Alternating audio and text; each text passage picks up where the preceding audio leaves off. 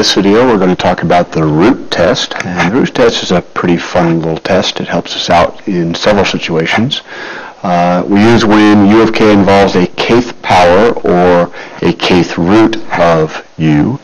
So let the series for u of k be a series with positive terms and suppose that rho is the limit as k approaches infinity of the kth root of u of k or uh, the limit as k approaches infinity of uh, u of k to the 1 over k.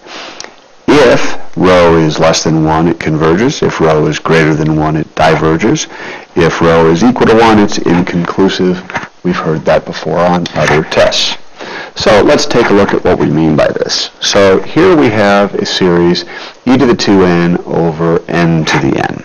And we'd like to use the root test. Well, so the first thing we're going to do is we're going to rewrite this as the limit as n approaches infinity of the nth root of e to the 2n, n to the n.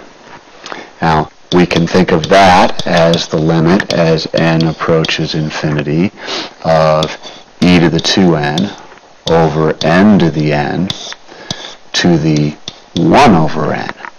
Well, if we were to distribute this exponent top and bottom, things would start to reduce and we would get the limit as n approaches infinity of e squared over n, which is clearly a loci, and a loci is always 0. Since 0 is less than 1, this thing will converge. Let's try another one. Example 2, we have n plus 1 over 2n plus 1 all to the nth power. So same idea, limit as n approaches infinity of the nth root of n plus 1 over 2n plus 1 to the n power. Uh, the nth root and the n power would cancel out. We would get the limit as n approaches infinity of n plus 1 over 2n plus 1. Well, that's a same same, so clearly we're going to get a 1 half. 1 half is less than 1, so this thing is going to converge.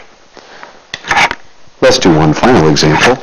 We have uh, the series 5n minus 2 over 3n plus 1 to the nth power.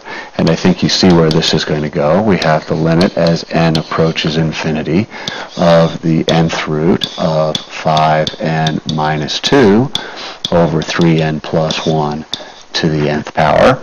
The nth power and the nth root cancel out, leaving us with the limit as n approaches infinity of 5n minus 2 over 3n plus 1. Well, that's also a same same, but this time we have 5 thirds, which is greater than 1, which means that this series will.